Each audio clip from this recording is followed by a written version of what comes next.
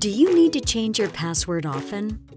No, you don't. My suggestion to everybody is think of a passphrase instead of a password. Passphrase would be something like, my favorite color is red. Use a long phrase that you can remember easily. To help with remembering passwords, I suggest using password managers. So that's something like KeePass is a software that's free and available.